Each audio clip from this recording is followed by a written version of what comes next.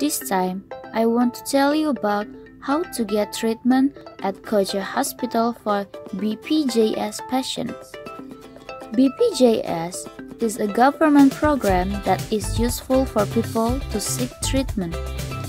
There are two kinds of BPJS that are paid or free. Paid BPJS is paid from salaries deducted monthly for employees.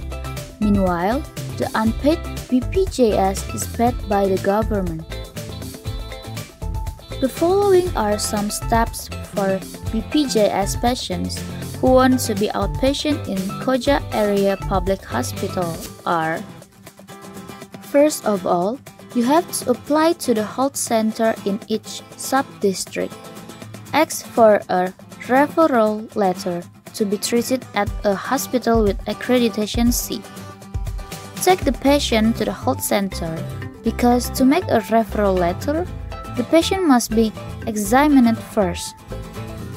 After getting a referral letter from the health center, take the referral letter and the patient to the C accredited hospital that has been referred. The patient will be re examined. Then, you can ask the hospital to make a referral letter for treatment at Koja Hospital. After that, you can take the patient to Koja Hospital. The stage that must be paced in Koja Hospital are Register a patient BPJS. First, you can register through the Koja Hospital website available on Google. Second, you can call Koja Hospital number on Google to register. Thirdly, you can directly register at the registration machine at Koja Hospital. Finally, you can directly bring the patients to treat according to their poly.